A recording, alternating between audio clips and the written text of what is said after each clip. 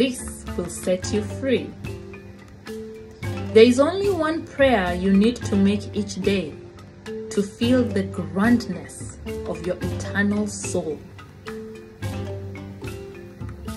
And it is this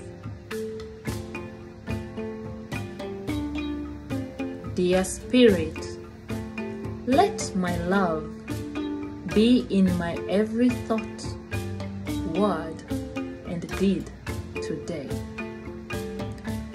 Dear Spirit, let my love be in my every thought, word, and deed today. Dear Spirit, let my love be in my every thought, every word, every deed today.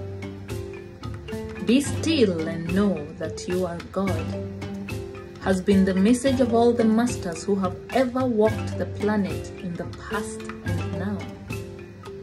All cultures and all peoples of all nations had their masters and all have them and do teach you this. It is what will set you free. Wisdom of the Ancestors with Queen Kagene.